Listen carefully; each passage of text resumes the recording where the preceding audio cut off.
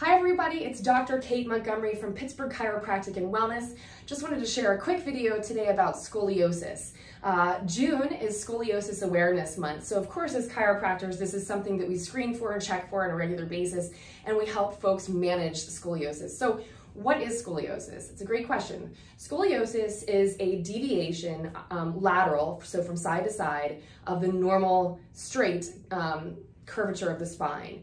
And the reason why that's really important is because with any degree of curvature left or right or lateral of the spine, it could be compromising the nerves that exit the spinal cord and or the surrounding muscles and um, function. And so that could lead to pain and discomfort. And with chiropractic care, we're able to help you manage that so that you're able to function better, feel better, and of course, even uh, people have reported better breathing, better digestion, things of that nature.